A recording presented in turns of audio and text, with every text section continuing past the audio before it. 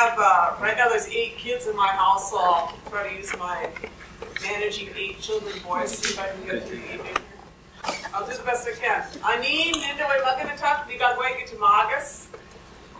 Inisiko itigo makwa indo dam gawa babane kag ishkana ganing and dun jaba which nendo ay maganatak which. That would be Ojibwe. That's the language for my community. I know all you are sitting there trying to figure out how to write that. Uh, but basically, I greeted you in our language, and I said thank you very much for the honor of being here with you. Thank you for coming out. And I told you that I'm from the White Earth Reservation, which is in northwestern Minnesota. You all know where Minnesota is, I assume. And I am uh, I'm uh, from the Bear Clan and the Mississippi Band out there, but that is uh, that's kind of what I said.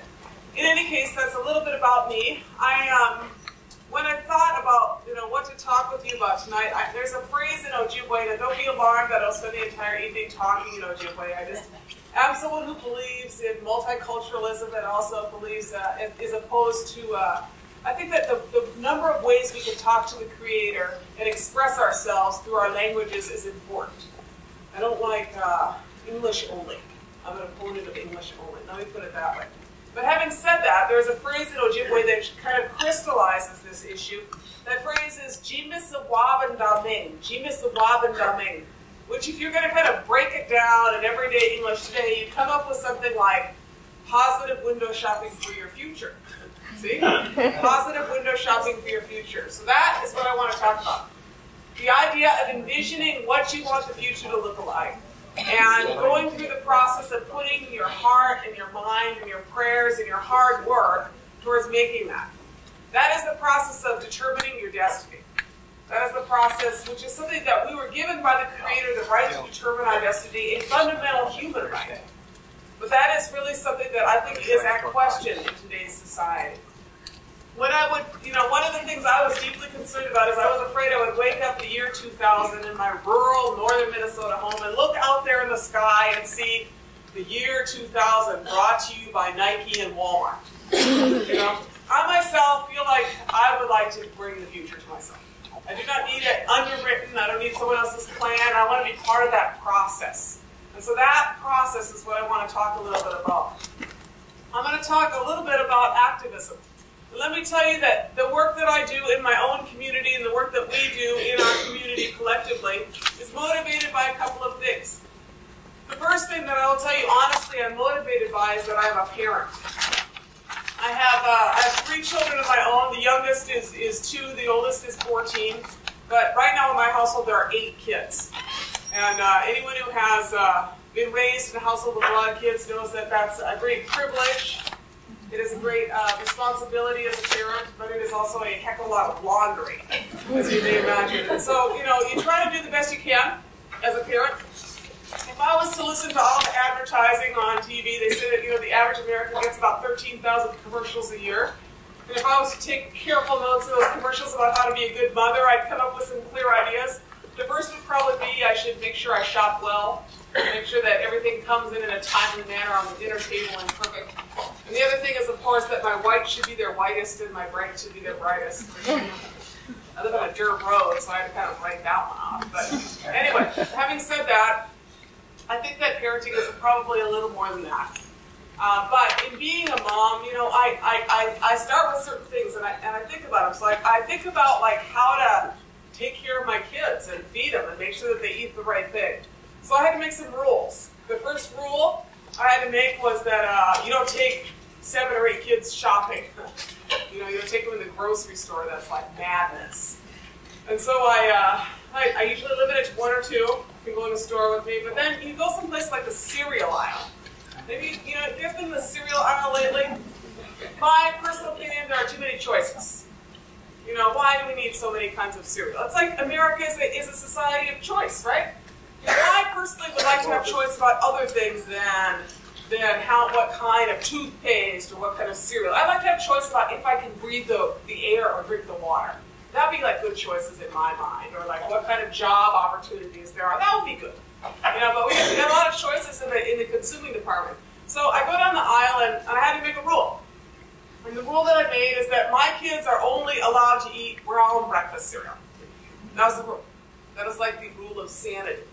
Know, I decided that in, in my my belief is is that the creator only intended for us to eat brown breakfast cereal. Froot Loops and Lucky Charms, not on the list. You know, so you start with that with kids because your kids will, you know, having seen the latest on, on the cereal box, that's what they're going to, right? So we had to go for the brown breakfast cereal plan. So I realized, you know, I look at the brown breakfast cereal box and make sure that there's all the right kinds of, you know, recommended daily allowance, not too much sugar, not too much funky stuff in there. I go through this set of decisions to make some right decision for my kids, and then I realize the absurdity of the situation. Why should I be more concerned about how much sugar is in my kids' breakfast cereal and not concerned about how much PCBs or methylmercury or arsenic or lead or dioxin is in my kids' tissue? That's the reality of the situation we're in. I mean, this is New York. New York is like the PCB capital of the world, from what I can ascertain. You know, every time I look, they open up something, there's like some new cache of PCBs they found someplace. You know, between, I don't happen to have sperm, as you may have noticed, but between sperm and the stratosphere, they say that there's 80,000 chemicals that are out there. And they are totally inputted on our bodies. Mean, we're walking around carrying a body burden that is like in excess. I mean, you go to upstate New York, some of these places like on the on St. Lawrence, and you've got pictures running around that are legally considered toxic waste. PCBs. You know, so high the levels at Contaminant Cove on the on the um, on the Mohawk Reservation up there at Akwesasne. You know, so why should I not be concerned about those issues and just focus entirely on sugar and breakfast? So that, in my mind, is kind of how I became became engaged in responsible parenting. Because to me, that is to be a responsible parent. Is that if you're going to be concerned about what your kids are eating, you better be concerned what your kids are breathing. You better be concerned about what they're drinking. You better be concerned about what is in their playground. You want your kids and their descendants to actually have a chance in making it. So that is in part what really politicized me. Is, is, is just being a parent and just trying to be a responsible adult in this society. I'll tell you honestly that I am also, you know, I also as an activist am motivated by considering kind of what I think are basic human values and then the, the total dis, disparate nature of those. You know, how the, those do not seem to appear in American society. I'm going to give you some good examples. Like, for instance, how many of you were taught don't steal? Uh, were all of you taught by your parents don't steal? The rest of you, I'm going to assume, were also taught don't steal. You just didn't raise your hands. But, you know, that is like something you teach your kids, right? Don't steal? But you go out there and you look, and, and that is not actually the lesson. Like, take, for example, the situation of my community. I live on an Indian reservation in northwestern Minnesota, an Ojibwe reservation, or Anishinaabe, how we call ourselves. And on that reservation, 90% of the land within our reservation borders is held by non-Indians. And the largest landholders are the federal, state, and county governments, all of which got that land illegally. Now, how's that work? You know, the crime that we have is that we happen to have had a neighbor named Frederick Weyerhaeuser. Most of you probably don't know because we're a little bit from the east, but Frederick Weyerhaeuser was this guy who lived in this town just south of us called Little Falls, Minnesota. He got a, he got a little lumber mill. You know, that's a pretty good deal. It's a really good deal when you get something like that my running mate in 96 and 2000 Ralph Nader would call corporate welfare, which is what I would call it. When you get the federal government to pay for a railroad that goes from your lumber mill to all the fine trees on the Indian reservations in northern Minnesota. That's a good deal. You know, that's a very good deal. So that is what happened. You know, in, in the end of that, some get rich and some get poor. He ends up with all the trees and a good portion of the land on all of those reservations in northern Minnesota, and we end up with no trees and no land. You know, and that is the foundation of it. So, you know, then the federal government ends up taking even more of the land than the state government. And so you've got a situation on my reservation where as I said, 90% of the land is controlled by non-Indian interests, a good portion of that descendants of the Weyerhaeuser era. And then in addition to that, the, the, the government is the largest landholder on the reservation. So if your land was taken from you illegally, physically stolen, why is it that I should tell my kids not to steal? And I should not tell the government not to steal? So that is kind of the quandary I find myself in. Now I teach my kids other things like how many of you all were taught don't be greedy? Were all of you? How many of you were taught to don't be not be greedy? You know, I know the rest of you, but you know that is okay. We will. Yeah, we will. you know, we won't ask too many questions about that part. Um, you know, I think that that is kind of a basic decency issue. I tell my kids not to be greedy. You know, which I think is a is a decent teaching. You know, share, be nice, don't be greedy. I mean, I was raised like that. I don't think that that was like an off the wall thing to be raised with. So I teach them to do kids. But you look out there in the society, and that's not what we teach at all. In the society, we teach go ahead and be greedy. Go ahead and get rich. Who the heck cares? I mean, you know, we don't ask how they got rich. You know, we by and large assume that if they got rich, they deserved it. They must have worked hard instead of pilfered someone's pension fund or 401k. You know, nothing like that. You know, instead we, we, don't, we don't ask questions about it. And in fact, you know, the irony is that we are a society which glamorizes the rich. One of my little pet peeves is, you know, I shouldn't say it's a pet peeve, but it's like, who the heck are Regis and Kelly? You know what I'm talking about? Like, why do we even know about those people? Why have they got the substance in this world? You know what I'm talking about? I mean, I don't even know why I know their names. It's like, who cares? You know what I'm saying? There are people who are like, you know, there are a lot of people who have done things that are far more interesting and are, have far more substance in the world you know, they're back. But they never make it to the newspapers. They never make it to the cover of People magazine. You know, they never make it anywhere. You know, because that we are entirely, you know, uh, the imagery that we are entirely inundated with is people who are of no consequence. From what I can see, whose only, you know, thing is, is that they may be beautiful or they may be rich. You know, besides that, I mean, I'm sorry. There are, you know, there are some nice, beautiful, rich people. I don't want you to think that I do not like them. but I guess I'm trying to point out that you teach your kids one thing, and then we have a society which glamorizes something entirely else. You know, and so the problem I have is, is that I start looking at that, and there are consequences to our uh, our love affair with greed. You know, that is the reality is that we are a society which totally aggrandizes it. On a worldwide scale, you know, it is devastating to a vast majority of the world's populations. Consider this. The UN Development Program reported in 1998 that the world's 225 richest people, and that number's probably even dwindled now, you know, have a combined wealth of one trillion bucks. That's equal to the combined annual income of the world's 2.5 billion poorest people. Right? So you guys hear that? 225 folks got more money than the 2.5 billion on the bottom. Now the question that I have to ask is, did they like not get that lesson on don't be greedy? You know, I think that that is a fair question to, to ask because the people at the bottom don't even have basic dignity in how they live. You know, by and large, they don't have enough to eat. They don't have basic sanitation, basic health care, basic education, basic inoculations. Talk about homeland security. They're like largely in bomb and landmine-ridden countries. You know? Talk about dignity. It is issues absolutely of dignity. It is, it is issues absolutely of, of this question of disparity and the impact of it. You know, so so figure this. The UN figured that a 4% levy on those folks, the 225 people at the top, would suffice to provide the following essentials for all those in developing countries. Adequate food, safe water, sanitation, basic education, basic health care, and reproductive health care. Right? 4% levy on those guys at the top. The 4% levy, I don't think that's even as much as a Rolls Royce for most of those guys. Right? That is like nothing. You think that they're going to hurt losing 4% annually? You know, but that set of questions is something. So you teach your kids one thing, and then you look out there, and this this society teaches something else. Oh, my buddy's back, huh? So, but it is not just obviously. It is not just on a worldwide scale and kind of abstract things.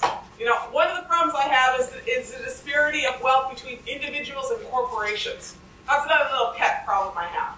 You know, my daughter always asks me, a 14 year old says, Mom, how come you don't like Walmart? What's wrong with Walmart? You know, so it's kind of the where do you start with what's wrong with Walmart? Go figure in 98, 1998, go figure and I, you know, I know that some of you have shopped at Walmart. I myself have been seen shopping at Walmart. You know, I must report. Like one time it was like three in the morning. I had kind of a problem. Anyway, you don't want to, you don't want to hear my story about it at Walmart. But anyway, so, so there you are. You know, Walmart. The uh, the gross domestic product of Walmart in 1998 of the Republic of Walmart, if we are to call them that, because you might as well because their GDP, their gross domestic product in 1998, was larger than the GDP of 100 countries in the world, right? 100 countries in the world. You know, so go figure. That is not like, like you know, we aren't talking like little poor countries in Africa. We're talking countries like Israel. Oh my God! Thank you. Look at that. I should everybody give them a Thank you very much. Okay. So Republic of Walmart, little countries like Israel, Ireland, Portugal, you know, in that list of the GDP. You know, not bad. So what I figure is, is that if they're so rich, you know what I think? I think they should pay their associates a decent wage. That's what I figure. You know, that's kind of the question I have is, is that if you're doing so good, why are you paying your workers six bucks an hour? You know? since that's the vast majority of people who are in there. But that is actually the irony of the situation, is that these guys may be rich, but they don't they don't share. They totally miss that lesson. I like this little book here. I'm going to recommend this book to a lot of you students. This is called Economic Apartheid in America by uh, Chuck Collins. Comes out of Boston, but see, one of the reasons I like it is it has pictures. You see this chart there? I know in the back you cannot necessarily see this chart, but that thing in the middle I think about this is CEO, corporate executive pay, as a multiple of average factory worker pay in the United States. Uh, this would be the United States, that one in the middle, right? So in 1980, average CEO pay was 42 times more than the average worker in a U.S. factory. Uh, now you know what it is? Oh, that's right, it's 419 times more than an average worker. Is that normal? No. Other countries, like really radical countries like Germany, 22 to 1.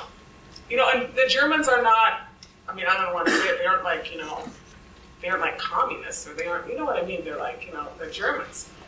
The, the Japanese, 16 to 1, right? I mean, that is, you know, in our country, that that is considered acceptable. One of the one of the things that I like the most, I, I graduated from Harvard in uh, 1981, and when I was a student, we had we took over the administration headquarters. I think that that's what some self-respecting college students do. I would never advocate that people do that here, but we did. I think it's illegal now. actually to advocate for that. So when I was a student in undergraduate at Harvard, we took over the administration building over the issue of the Harvard Corporation's ownership of stock in South Africa.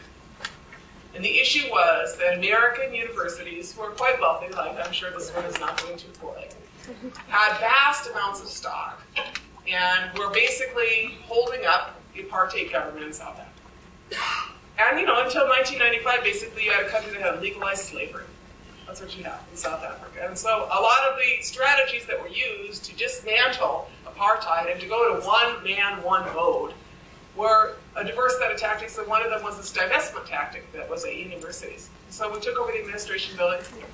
And then I went back to Harvard here a couple of years ago, and I was just proud of those students. They had taken over the administration building again. Now, some of you are too young to have known that, but um, you know the issue that they took it over, took took over the administration building over, was the issue of something called a living wage. How many of you heard of this living wage campaign? Yeah, this is a very this is a very decent thing. You know what they say is, is that living wage is what it takes to keep a family of four above the poverty level. I think that if you are working, you should be above the poverty level. That's just kind of like my thinking. I think you know. I think that it's a decent thing to be above the poverty level. And the, and the, the estimate, rough estimate of a living wage in this country, which is what it takes to keep a family of four above the poverty level, is about 10 bucks an hour. Uh, minimum wage, federal minimum wage in this country would be about half of that, right?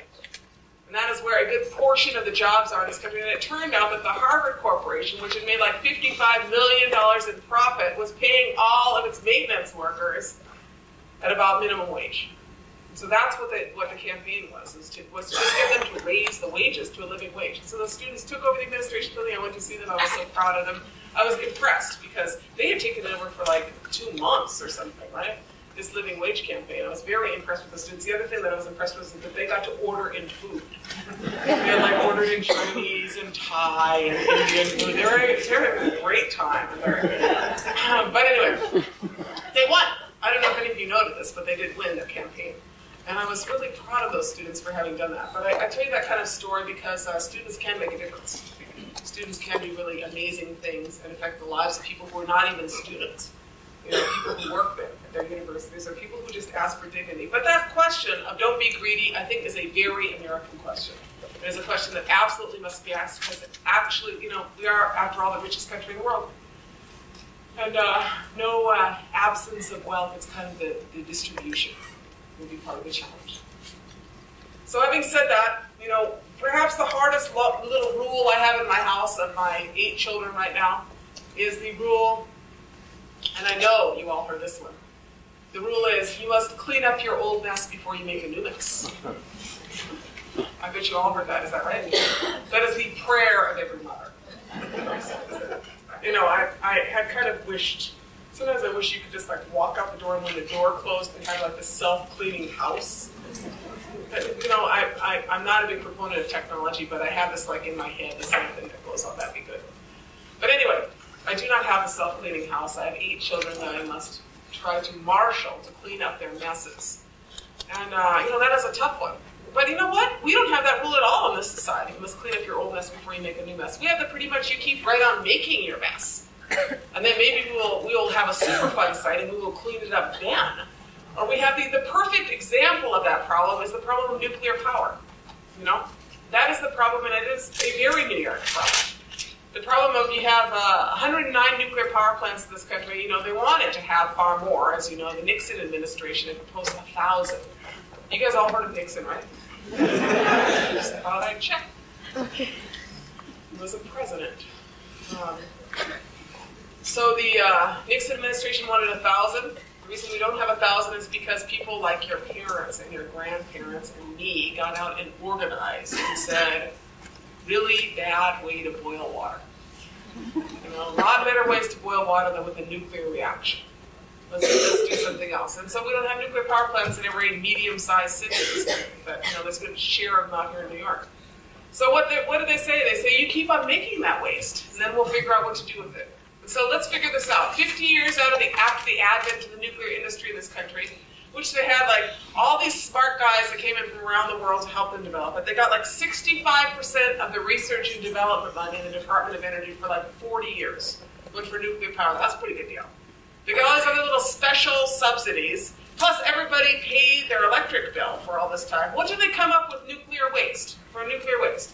Oh, that's right. The proposal is to take all the nuclear waste in this country, to put it on trucks and trains, drive it all the way across this country within a half a mile of like 70 million Americans, and go on out and dump it on an Indian reservation. That would be Western Shoshone Territory, Yakima. That is the Nuclear Waste Policy Act. That is the proposal. Now that is, you know, we could say that that is a Native American problem. I don't think that's a Native American problem. I think that that is a public health crisis is what that is. You know, there's, there's a reason that this bill is known as, or this law is known as mobile Chernobyl. You know? Think of it this way, each shipment, 90,000 shipments is what they're talking about. Each shipment the equivalent of 250 Hiroshima bombs.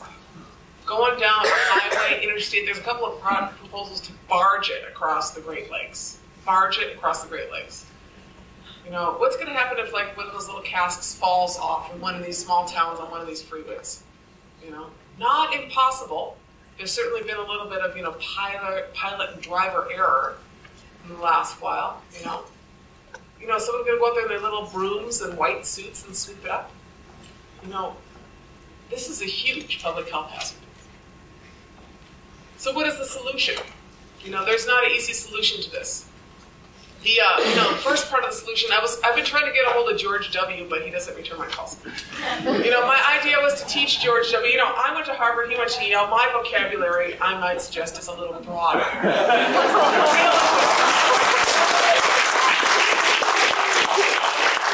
It's a really good word that would be useful at this time. The word, it's got a lot of syllables though. The word is decommissioning. Decommissioning. That's a lot of syllables, huh? Decommissioning means it really applies to things like nuclear power plants and dams.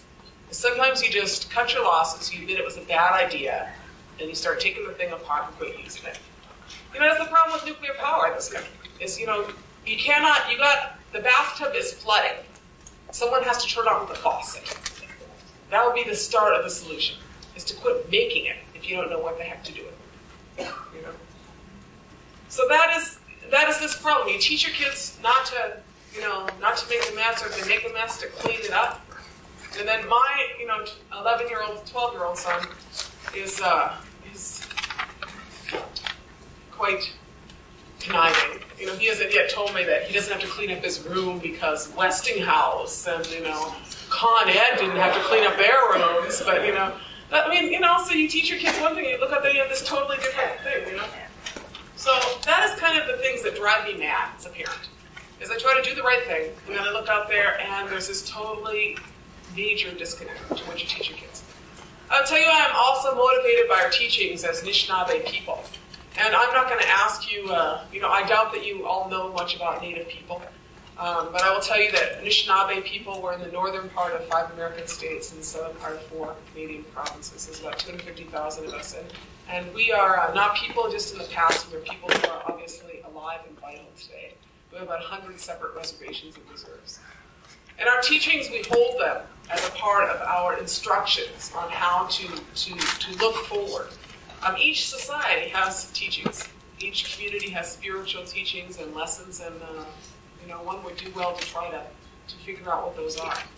But having said that, in our teachings, um, we have these prophets that came to us and talked about the time ahead, and uh, all the things that we were going to go through, and a lot of those things we uh, we, we didn't know. We didn't know things like, um, well, we you know our prophets talked about that we would botch things up. And uh, I tell you that because no society has a monopoly on botching things up. Every society is perfectly capable of botching things up. The question is if you can fix it. You know, if you've got the humility, if you've got the ability, the commitment to fix it. Because um, we're human. Know, we are far from perfect. Then they talked about some people would come and some would be good and some would not be good, and we had no idea. But that is true. Some people that came to this country were just really remarkable people. Some people who came to this country were not. And it is a really important thing in this time of historical revisionism and kind of revitalized patriotism to not rewrite history and pretend that all of those people who came here were great and all of those founding fathers were. They talked about that many of our people would disappear and, and a lot of those people disappeared because of those founding fathers. I mean, there's a guy, you ever heard of Amherst, Massachusetts? Amherst? Named after this guy named Lord Jeffrey Amherst. You know, that guy, Lord Jeffrey Amherst, one of the single largest purveyors of smallpox ridden blankets, wiped out hundreds of thousands of indigenous people in the East Coast with smallpox ridden blankets. You know, and you got towns and colleges and cities and malls and streets named after the guy. You know, we wouldn't, in this day and age, we would not name towns after Eichmann or Hitler. But I'll tell you what, the reality is, is that this country has lots of names that lots of cities and towns that are named after mass murderers. You know, that is something that, that we do not forget. And that I think is something in this new millennium America should, should find some redress for. Should look for some sort of justice. You know, name towns after Chivington committed the Sand Creek Massacre. Oh, you know? So, do not revise things, you know? Our, our prophecies talked about that many of our things would our items would be gone or our people. And, you know, we had no idea that universities would haul off our, our dead or our bodies or our sacred items. But they did. But then they talked about this time when our people would go and start recovering those things, our songs and our ceremonies, and they talked about that as the time of the sixth fire. And that's what we have done. In the past 20 years, you see the recovery of whether it is the wampum from this area, many of our ceremonial items, many of our songs, our practices, those uh, faces that they have in this area. The same thing in our area. Different things. We bring them home. We bring them home and we do the right thing with them, what they are intended to do. Then they talked about a new people would be born, the Oshki Anishinaabe, they called them, the new people. This time of the new people, they said, is the time of the seventh fire. And in that time, our people would have two choices in front of us. One path, one mikana, they say is well worn, but they said it's scorched. The second path, they said, is not well worn and it is green. And they said it was our choice as Anishinaabe people upon which path to embark. And that's what those prophets said to us about a thousand years ago. And they say that that time we are in is that time is now. And I'll tell you that honestly, I do not believe that that prophecy is exclusive to us as Anishinaabe people. I think that is exactly where we are as an American society. We are a society that has two choices upon which path to embark. One path is well worn and scorched. The other path is not so well worn and it is green. But it is our choice upon which path. So having said that, I'm just going to talk a little about organizing and then about some issues and then then close up here. But um, I, uh, I work mostly as a community organizer in my reservation in northern Minnesota. Um, I work for an organization called the White Earth Land Recovery Project. And I also work nationally for this organization called Honor the Earth. And I don't know where in your career services or analysis of your choices in the future nonprofit organizations come, but do not write us off. It is one way to engage civically in society to do something. You know, and I encourage all of you. I mean, we spend far more time sitting in front of the TV than we do engaging civically in the society. And uh, you know, that's one of the reasons people think that change is, is hard to make because we've grown accustomed to seeing everything occur within about 48 minutes. You know, go sit down and watch TV, they come up with a problem, they have some complications, and then they solve the problem. You know, and you know what? Life is actually not like that. It takes a lot longer to fix things. Um, but you know, we get used to it. But uh, I work for a nonprofit organization, and um, our organization works on these issues of land, culture, and environment. And I talked a little bit about our land situation, that 90% of our land is held by non-Indian interests. The consequences to our community were devastating. Most of our people were forced off reservation, made refugees in our own land. Today, three quarters of all tribal members live off reservation. And, um, you know, every social and economic statistic you don't want to have, we have for our reservation. Whether it is uh, you know, 60% of the people are unemployed, 50% of the people at or below the poverty level, diabetes rates in the adult population over 40, about 40%. Childhood diabetes rates increasing about 70%. Uh, that actually be from what you guys eat, what, what people eat in uh, school lunch programs. That may be a contributor. I don't think this is a news flash to most of you. Our community is particularly afflicted by it. Um, arrest rates about seven times that of non-Indians. Um, we have the dubious honor of having the county, the village that I live next to, has the dubious honor of being the village or the county in which we have the highest rate of stolen and burned cars by teenagers in the state of Minnesota. Now, what kind of a statistic is that? Is that like a statistic of functional, a functional community? You know, I'm thinking not. I'm thinking we got kids with nothing to do. I'm thinking we got problems. You know, all those statistics are statistics that are our communities. So how do you fix that? You know, where do you start? We uh, looked around our reservation and, uh, you know, we started on the issue of land because uh, all our land was held by others. There are 12 federal investigations that came to our reservation. We have, you know, it's technically called structural poverty. I'm an economist by training, but that's what I would call it, a structural poverty, when you do not control any of the assets of your land. You know, every tree that is cut on our reservation, someone else benefits from. Every crop that is produced there. We don't even have ability to produce crops on our reservation, right? You know, all of our lake shore is owned by resorts and camps from someplace else. We don't own those. We don't benefit from lake shore, you know, rentals. It's not benefiting our community. All of those things. You see what I'm saying? This is that's how you stay poor. It's not because we're stupid. It's because we don't control our assets in our community. So how do you fix that? You know, you got to start someplace. We started on the land issue and we tried to get our land returned to us. You know, I'm someone who has exhausted my legal recourse. I went all the way through the courts of the United States to get back our land. The courts in Minnesota and nationally ruled that um, the federal courts ruled that our land had been taken illegally from our reservation, had been taken illegally, but the statute of limitations had expired. We should have filed within seven years of the original time of taking. Well, there you go.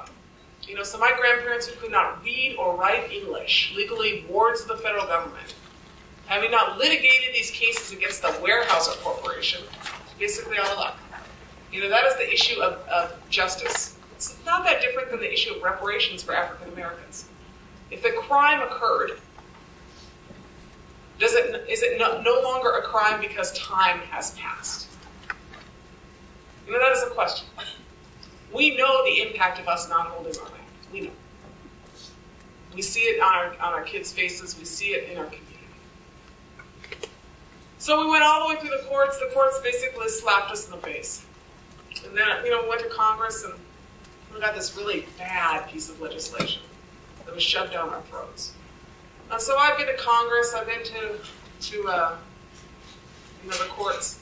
Had 12 federal investigations come to my reservation. This is my impersonation of a federal official coming to my reservation.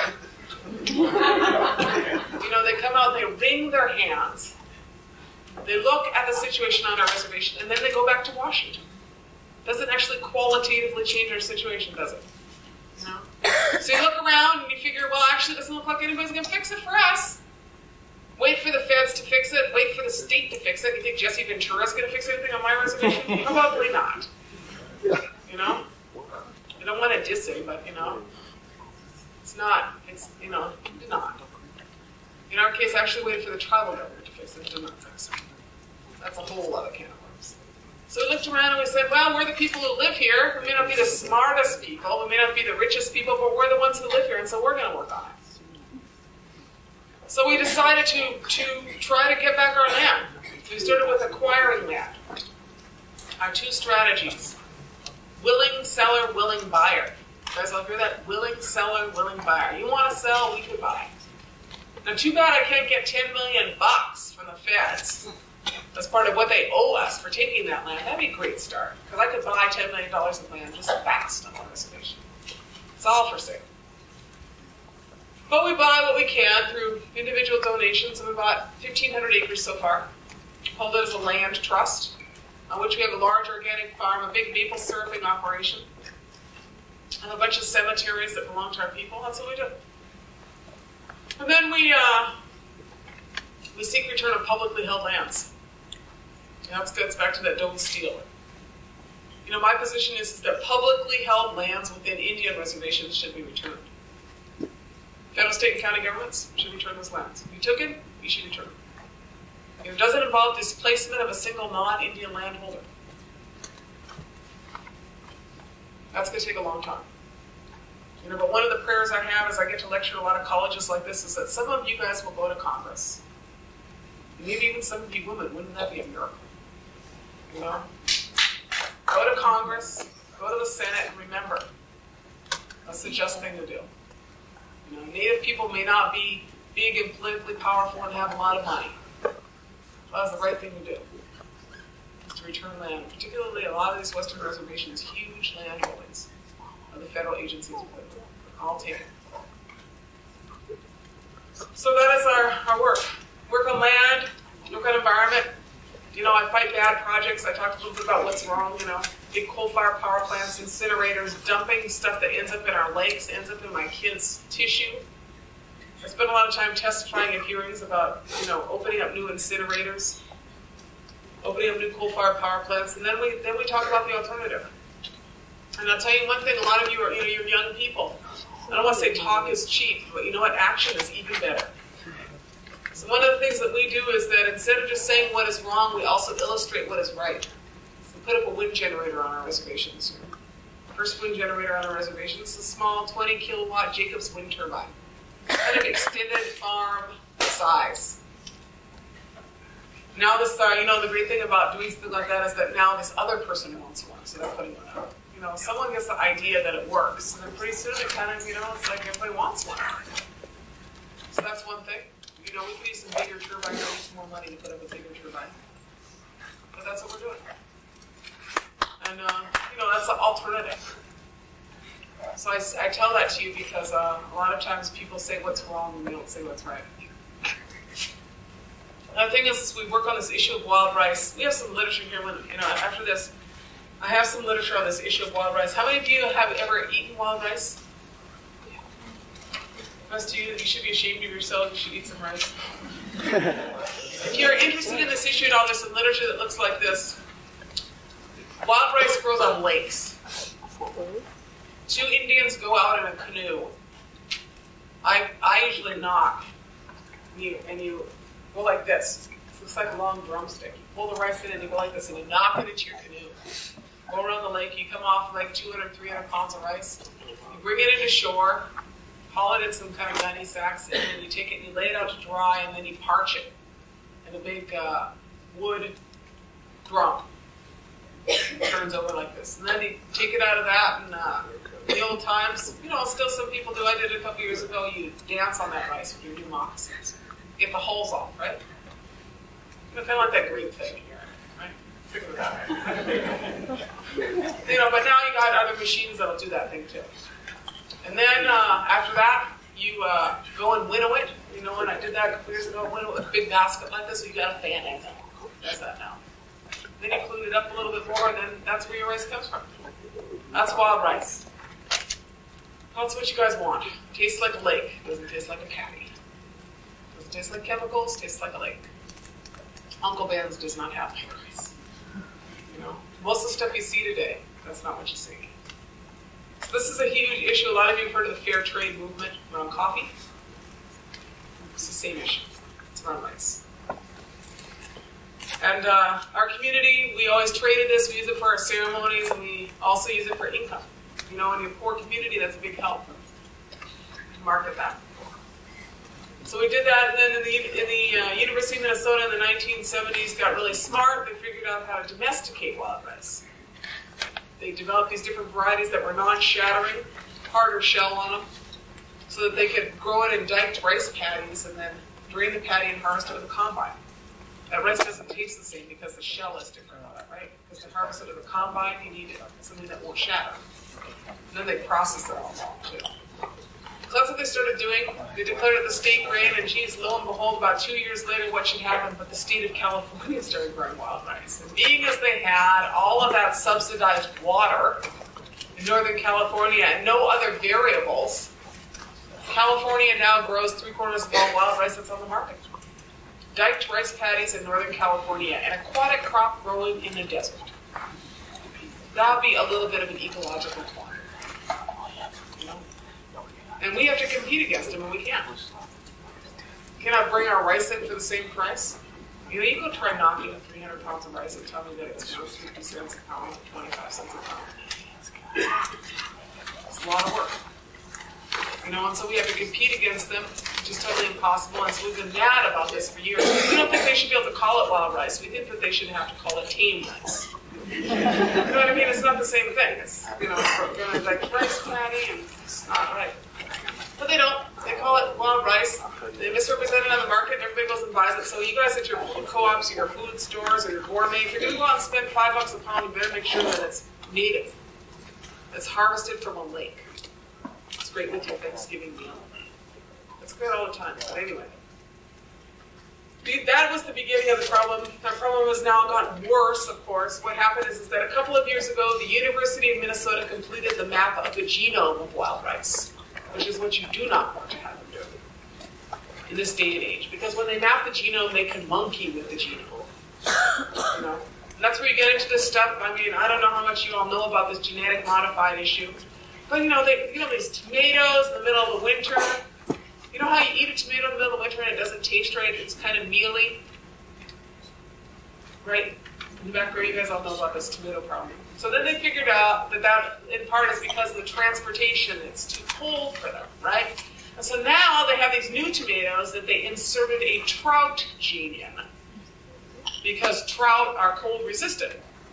And so this is supposed to be superior. Now that is kind of the tip of the iceberg of GMOs, right?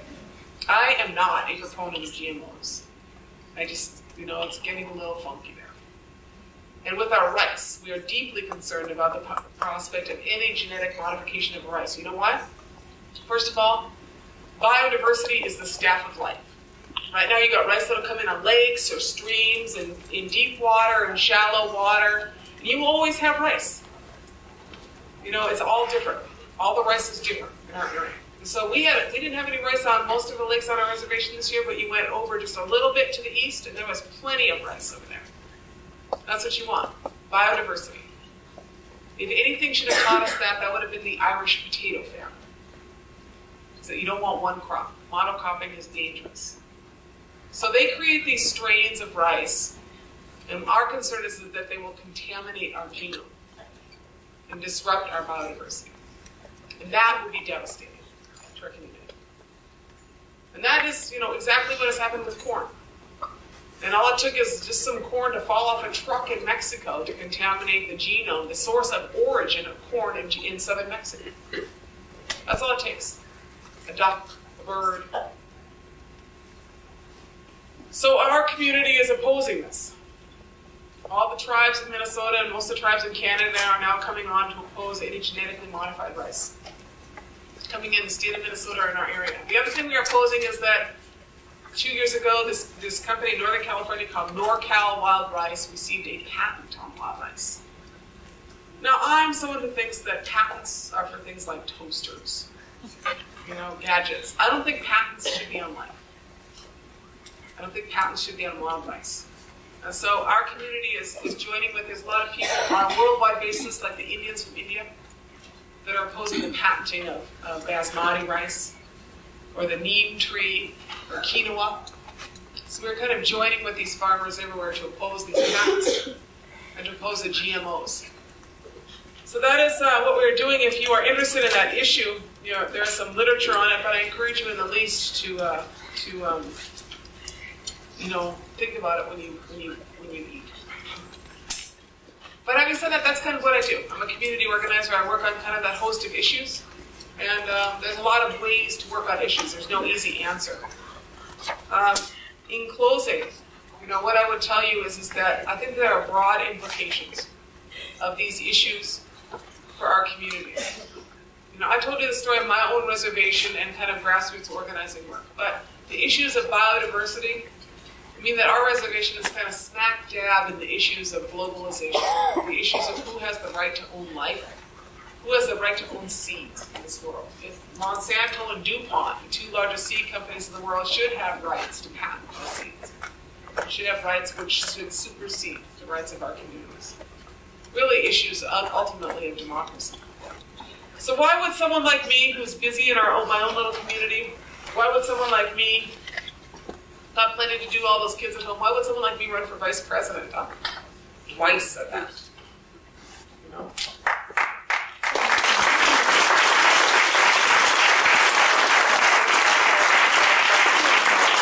a lot of you were not old enough to vote for me last time, that's all right. Well, against you.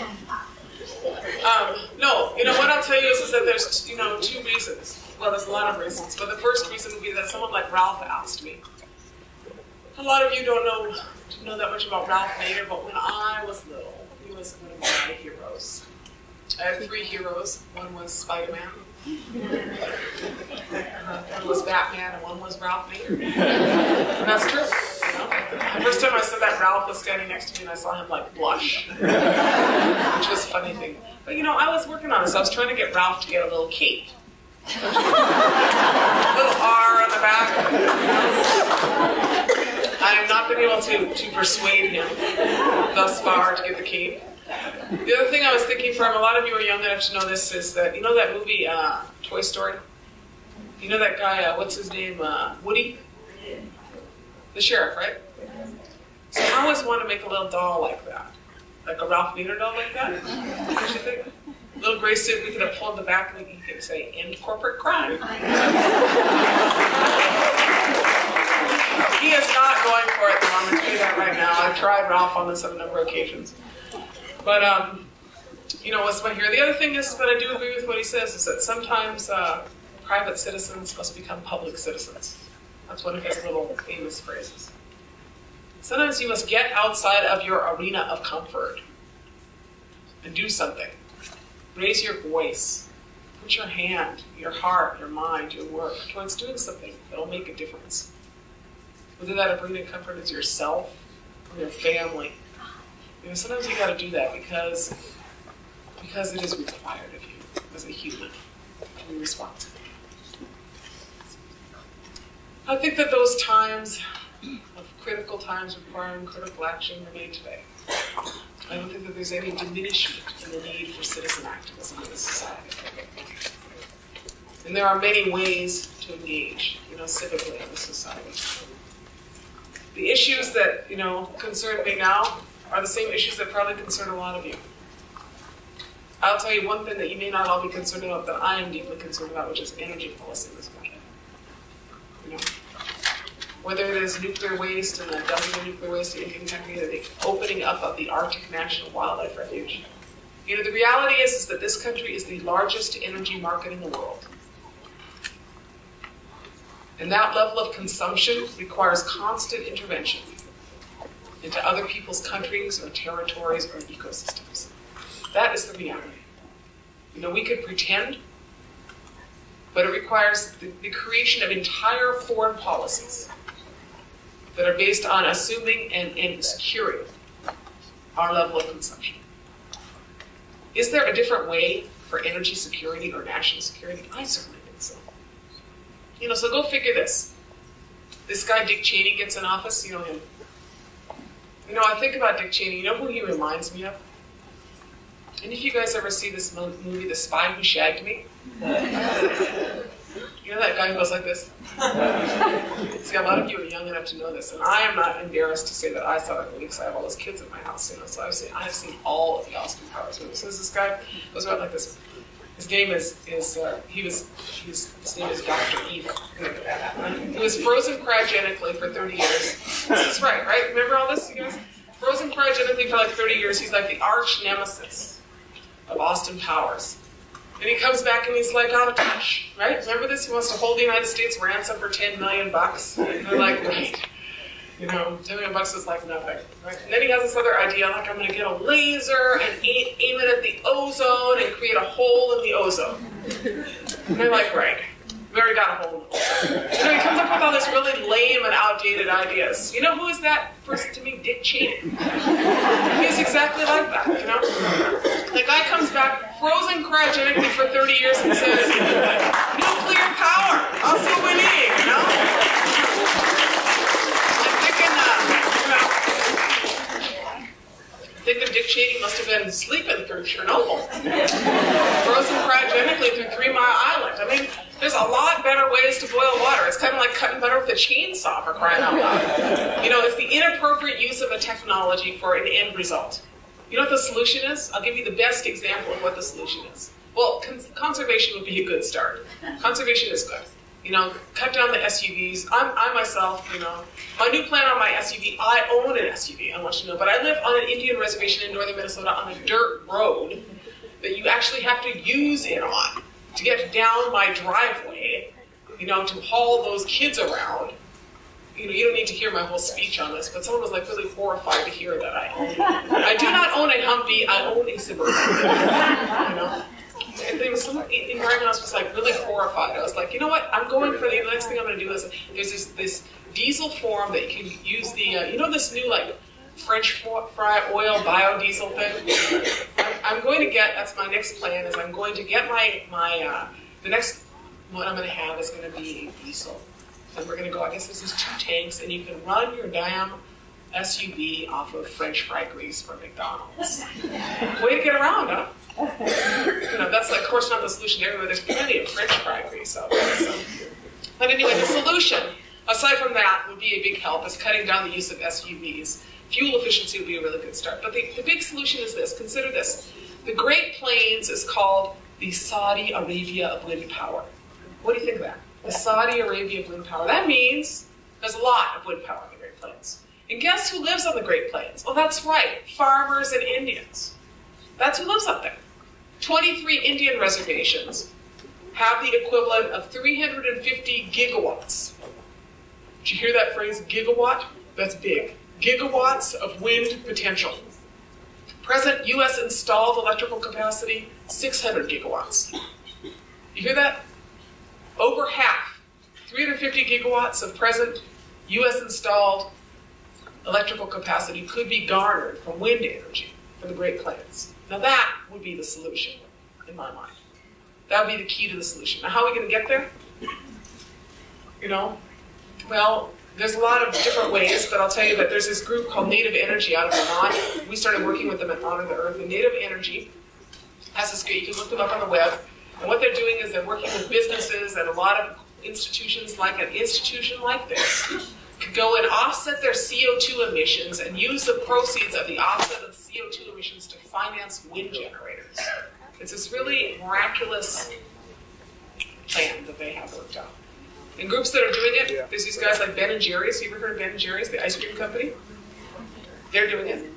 They have a big they have a big program in their wind their offsetting their CO2 emissions and financing wind generators. They also have I'm I'm a big supporter of this right now. For your Christmas parties, One Sweet Whirled, that's their ice cream. Did any of you hear this? This ice cream is called One Sweet Whirled. It supports wind generators. So what do you think? Christmas parties, ice cream? That's good, huh? Support wind generators. The other thing is, is that these some of these musicians like Dave Matthews. You ever hear Dave Matthews, some of you? I am not a big, you know, I don't really know Dave Matthews that well, but the guys did a whole 80 city tour and used his offsetting his carbon emissions to finance wind generators. I was like, I like Dave Matthews. That's a good idea. You know, so what do you want? You want Dick Cheney and nukes, or you want like Dave Matthews and ice cream? I'm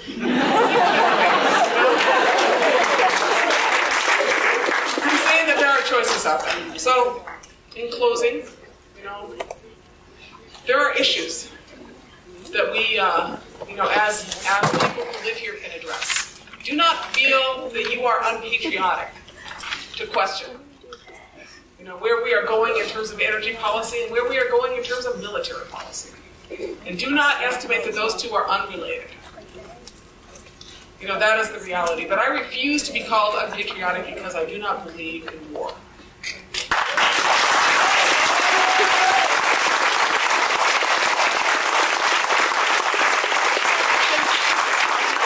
Campaign spends over half of its federal budget on the military is excessive.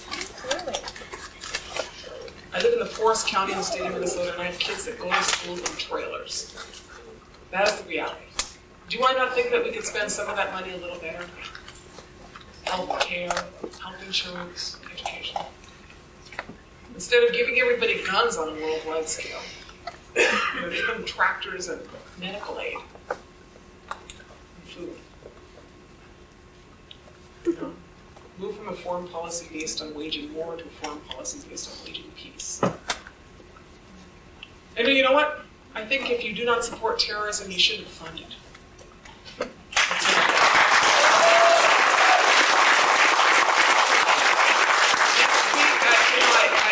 Planned to go. I cannot go, as it turns out, to this. There's a protest in this place called the School of the Americas. Perfect Of course, they renamed themselves as the Western Hemisphere Institute for Security. But they are still the School of the Americas, and you know what? You know, they're a perfect example of the problem. You know, that and the fact that the United States is the largest purveyor and distributor of military weapons in the world. You know? Is the fact that we train people right here. 60,000 assassins. That's what I would call them, terrorists the death squads in El Salvador and Guatemala, a good portion of the Colombian military trained at the School of the Assassins, School of the Americas. Our tax dollars. You know, people trained to to go in and level villages and you know, and in Mexico, go in and nail a woman's feet to the floor so she can be repeatedly raped by all the soldiers that were trained at the SOA. That is terrorism. And we train it and we fund it. Now that is why I do not support our military policy. So I think about that and I think, you know, it is not it is not un-American and I refuse to be called unpatriotic if I say I do not support you. You know, I do not support a policy waged that causes destruction. How do you make change? The hands of individuals. That is how all change has been made. You know, whether it is women's right to vote, no one gave women the right to vote in this country. This is New York. You guys all know that, right? Women got out and organized is why women have the right to vote in this country. Workers' rights. You know, my grandmother was in the pocketbook makers union. That's what she did. International Ladies Garment Workers Union. The reason we have a 40 hour work week is because of women like my grandma. You know, environmental laws in this country. It's not because Westinghouse and GE wanted them. It's because people said we have a right to breathe. We have a right to not have contaminated land and contaminated water. Got out and organized. When will change happen? My friend Tom Goldtooth, I always have to quote him because I'm not a man.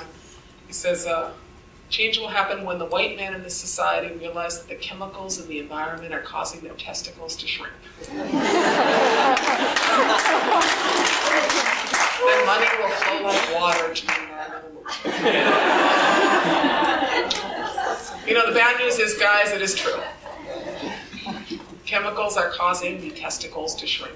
We would like to have change happen before too much of that occurs. You know, but you gotta get off your heinies and do it. That's the reality. You know, the hands of individuals. Do I think it's possible? We all seen it. I've seen it in our own little community, our little poor organization did all that stuff in 10 years. We're not the richest, we're not the smartest, we're just the ones that, that live there. But in the end, you know, that is our privilege. That is what the Creator gave us. Jimasawabam Dame. Jimasawabam Dame. Positive window shopping for your future. The ability, the responsibility, and the gift to determine your destiny. That's what we're given. That's our right, that's our responsibility. Be good. Thank you very much for your time. If uh, there were some questions, or uh, uh, I'm sure there might be. Yes. Um, you, uh, you mentioned wind power. Can you talk a little bit about solar power? Yeah, I can. Um, although I was sleeping on the plane today when I was trying to read the solar power thing. Not to, not to say that solar power is not interesting, I was tired. Um, there are, you know, vast regions that have immense solar potential. A good portion of even the north has good solar potential. I mean, they see Minnesota has as much sun as Florida, it's just darn cold. You know, and so the use of, for instance, um, I mean, household use to start with is a key way to diminish our electrical consumption. Panels that rotate that are on your roof, you know, 10 grand. Actually, I think even less. You could pay off, pay them off like you pay off your satellite dish or whatever that used to be. You know, and you end up with these panels that'll, uh, you know, provide energy for your for your own household. I don't know if you have more on that, but there's a, you know, there's a, a wide array of work in terms of solar as well. New York's really good, and one day of sunshine in New York could supply 365 days of all the electricity. And uh, they had incentives in New York that you know, get we're not about 50% off and 70% off the business. That's great. Yeah, that's good. It's not happening. Know, the cost is proper. There are barriers that utilities aren't supporting it, but the incentives are there. And that's the kind of thing that, you know, I mean, I don't want to say, but engage citizen activism to help get those things, you know, that, that resources up. Yes? You were mentioning on how uh, Dave Matthews and Ben to give money to donate for window. How much does it cost to build one, uh, one wind generator? It depends on the size. Um, $30,000 is for like a household size or a little bit larger. Some of the prices are going down. The other ones are like 250,000 is what you're talking, you know, and upwards with that. But those are like commercially commercial generators. They're gonna they're gonna put it into the grid. And for instance, the Rosebud tribe has a 750 kilowatt generator that's coming on right now, and that's the one they received financing through a variety of mechanisms. But the cap financing to start it off is what Ben and Jerry's and Dave Matthews did. And so that just the bridge between what they needed and and what they had is what they were able to get with that. So, you know, the, the model that they are using is a very good model. And um, there are a bunch of credits that are actually available through the DOE right now in order to leverage that model and to retire. What they're doing is retiring carbon uh, credits so they aren't sold to another country. Any of you guys follow me? You know, you know what I'm saying? They just take them off the market. And then there's incentives to do that that enable um, them to help finance it. Thank you for the question. Yes? I heard somewhere that uh, 60% of our oil was used by the military.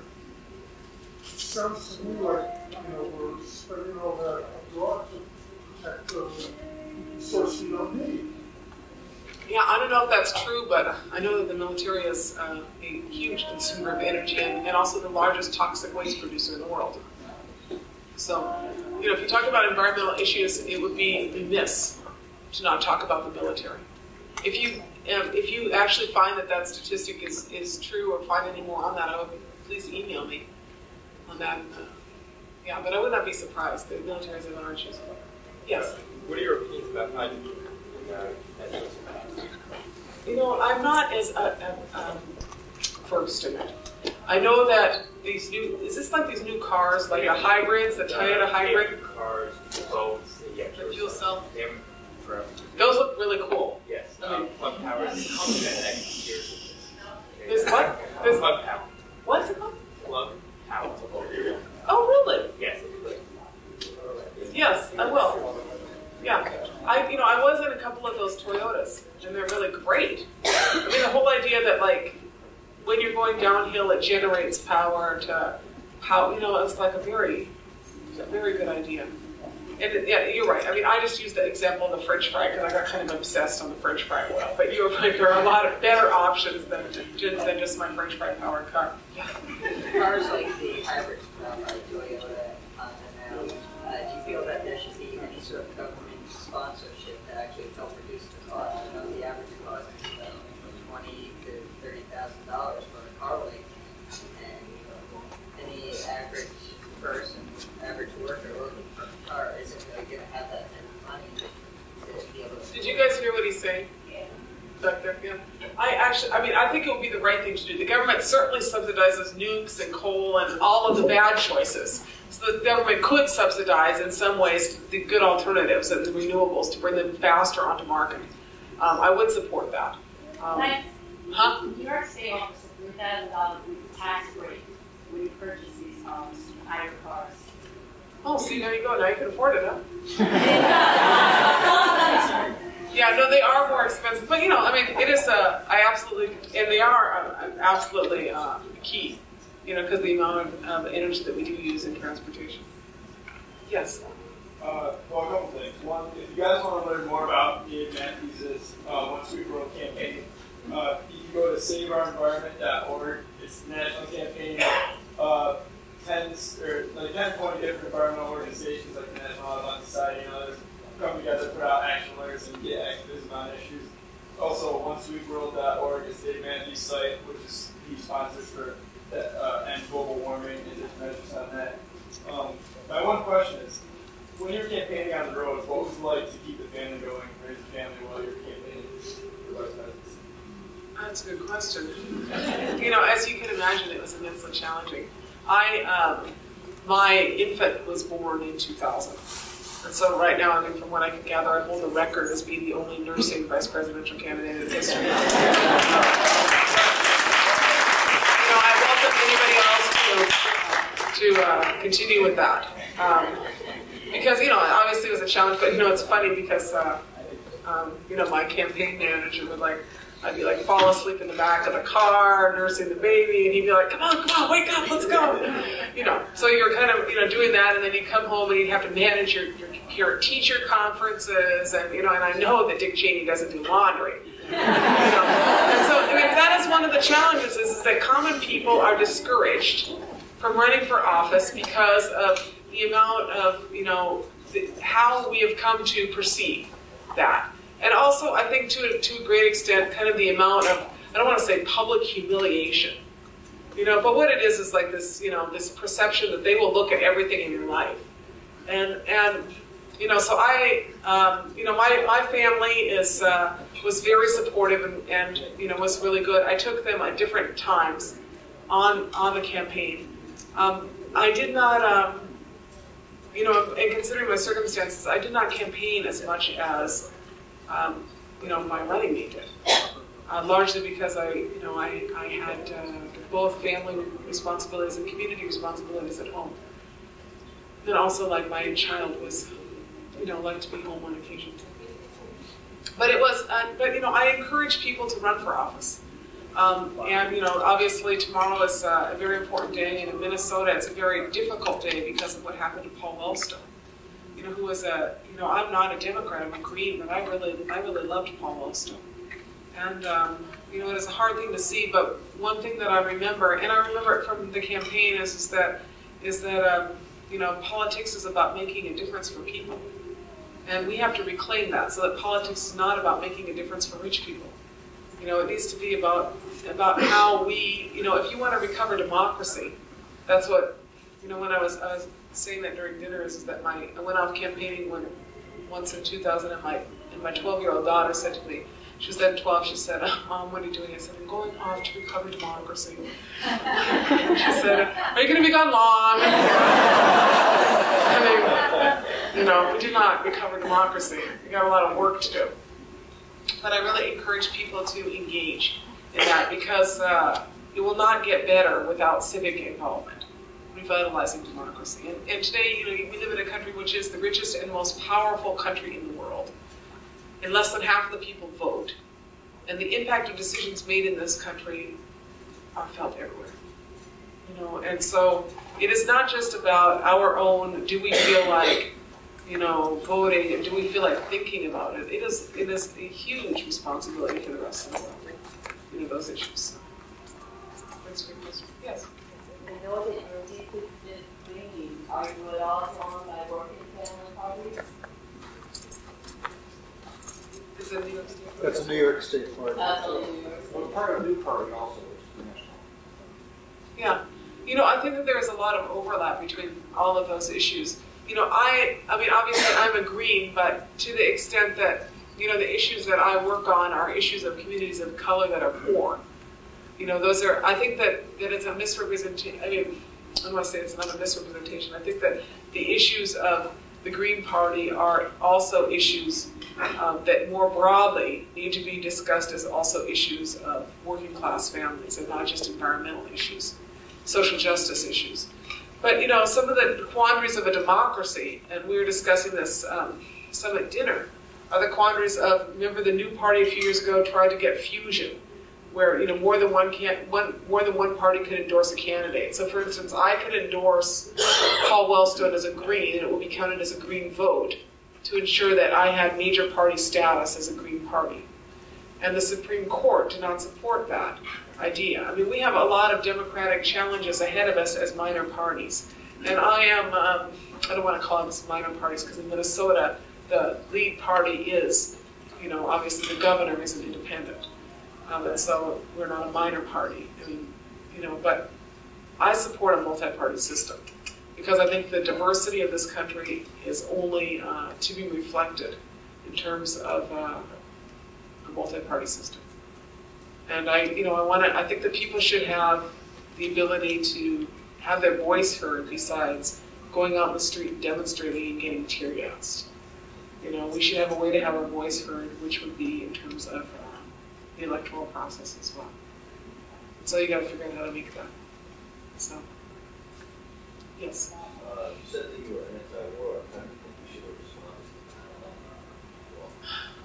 Well, I think that there's a multiple set of ways. And first of all, I would not have been, I would not have financed the guy in the first place.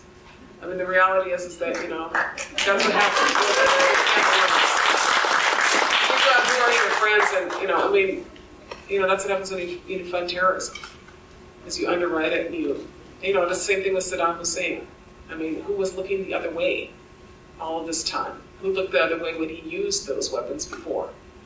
Um, you know, it is just according to what is convenient to us. So, having said that, you know, I would say first of all, it's a total revamping kind of our foreign policy, military policy is absolutely key.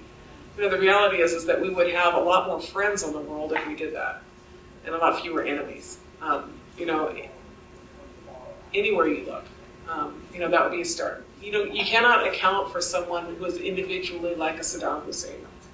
You know, but there are individuals like that on a worldwide scale. How would I uh, post 911? You know, the first thing I would do is I would, you know, if you talk about national security, I would talk about these issues of energy security.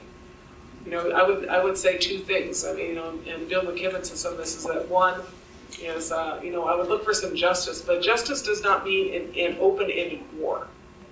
You know, which is the problem that we have ourselves in now, which is um, just go and keep looking for somebody and, you know, causing havoc.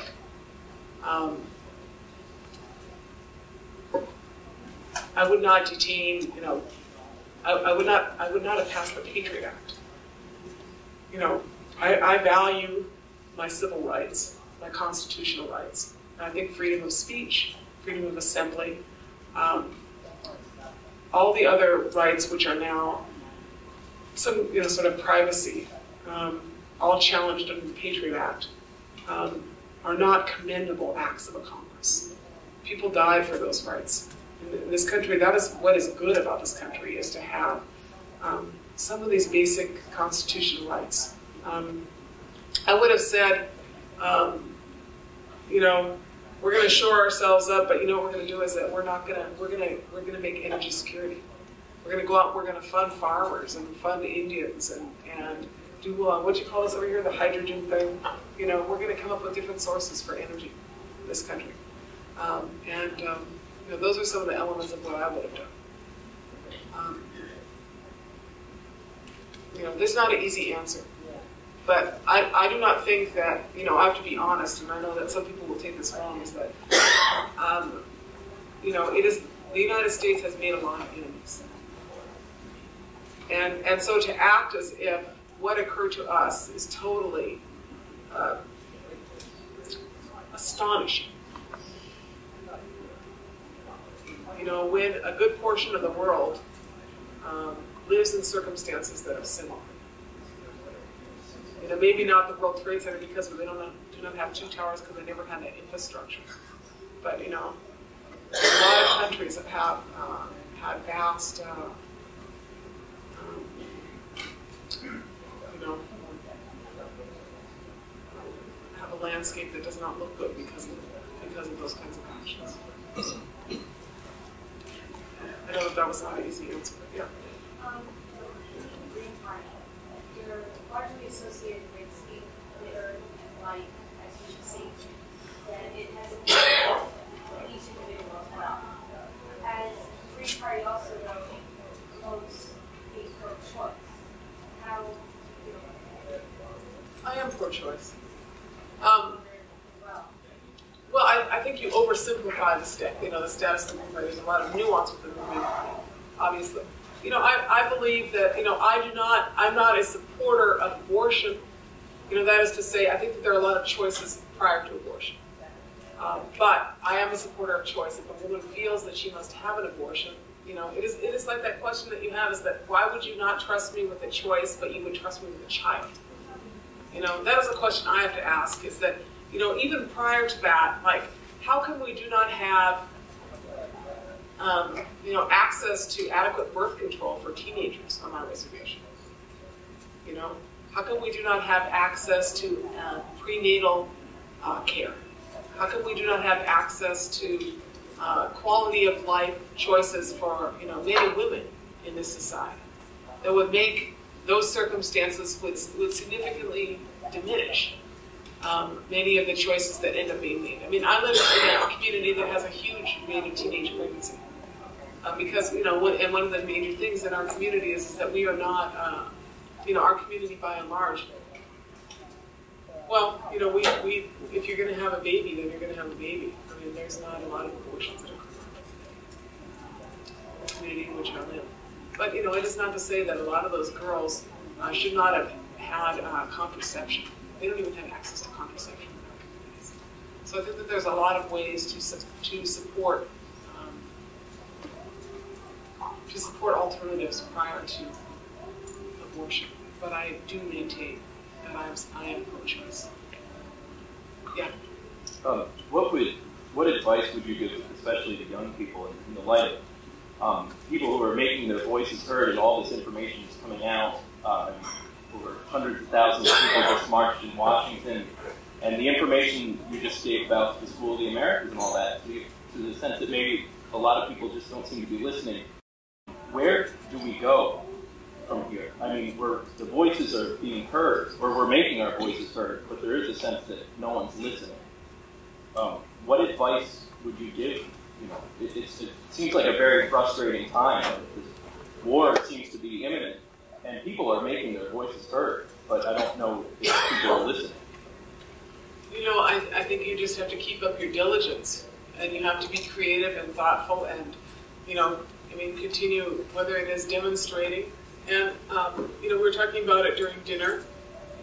The idea, even as students, of making sure that you issue press releases, I mean, building our movement capacity, and and you know, I don't know the media situation at a local level. You know, I know I'm, I'm far more attuned to the Minnesota media and the media in the rural area, but I know that in our area, we can, um, you know, do we do get a lot of stories in the paper in our area, um, in rural areas, um, to try to kind of engage in a dialogue and start and start educating people about those issues. Um, there is no, I mean, I, I keep saying there is no easy answer, but there isn't. You know, there's not one answer either. We need to hold corporate media accountable. And we need to say, like, why did you miss that story? You know, what about that 100,000 protesters? And why was that not in the paper is what I want to know. You know, I think that that is news that is fit to print. And back to that thing of Regis and Kelly, I don't think that's news fit to print. You know? And so we need to demand as, as readers and as viewers that things that are of significance and that people are doing it are covered and, and to keep pushing that. You know, and of course we're going to be pushing against corporate sponsorship. You know, that is the reality. Um, but, you know, the, the questions of this dialogue, um, you know, the, the, perfect example, some of the perfect examples of that were around the last election, the coverage of, of the um, pilfering of ballots and the disenfranchisement of like 50,000 voters in the Florida election by Jeb Bush. That would be a pretty substantive story, particularly since most of those were Democrats and most of them were black. You know, um, you know how they got pulled off the voting rolls, how you know 8,000, a list of 8,000 felons came in from Texas. You know, that's a nice state to get the list from. You know that were mismatched, and those people lost their right to vote because their name appeared to be the name of a felon on a Texas list. You know, pretty vague. You know, in terms of yeah, so I guess I'm, I'm just talking about that the problem that you were talking about is kind of epidemic in our society.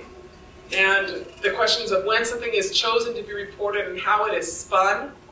I mean, the issues of when the weapons expect, inspectors were kicked out. Oh, actually, we pulled them out now that I recall. I mean, that's like an important, you know, no matter how many times they say the lie, it does not mean it is not a lie. And that is what we have to demand. And we have, but we have to engage as informed citizenry and know these, you know, know these things ourselves. You know, do the research, do the work. You know, be inquisitive, be thoughtful, because we have no absence of access to the resources to do that. You know, this country is is you know we are wealthy. We got all the information out there. If you want to go try to figure out what's going on, you know, you can still figure those things out. It's just using your head and being committed to using it. So that's how, you know, I can go on and on and on. Yeah, take one more, and then I'm going to be, yes, in the green shirt. Yeah, I uh, heard you on the radio the other day they were broadcasting, AR, alternative radio broadcasting your speech in Mexico. And you were listing some of the statistics of the weapons, um, you know, the amount of money for one weapon and how much, how many people would be covered with health care. That's the kind of thing I think that if we educate ourselves and are, are putting that out there constantly to the general public, people will wake up and listen because those are shocking statistics that don't get put out there in the media. So we need to learn them and, and share them with everybody around us all the time because it really doesn't get put out there and it's shocking. And I mean, I think it would, would uh, electrify the most apathetic person they really heard these, these facts that are, you know, there to be learned. And I, I wish you just, would you throw out a few of those that you yeah, and a really good website. I mean, Women Against Military Madness. That's what gave me this little card, which I don't have a little card with me, but it's like you know, you got like one, uh, you know, one missile or twenty six thousand students getting a school lunch.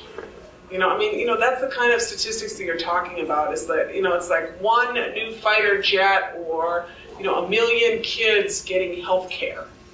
I mean, it is that kind of a. I mean, that is what we are talking about in this country. We're talking about that we have. We spend half of our money on the military. That is encroaching up higher than that, and you've got, you know, kids who don't have school lunches, that don't have health care, don't have health insurance, don't have adequate infrastructure in the schools, don't have enough teachers.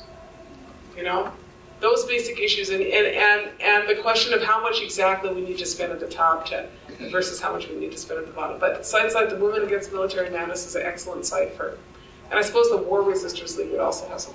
Listen, I want to thank you all for your time. I think I have a bunch of literature that you are welcome to take with you, and we have a few books in the back, but thank you again, Nancy.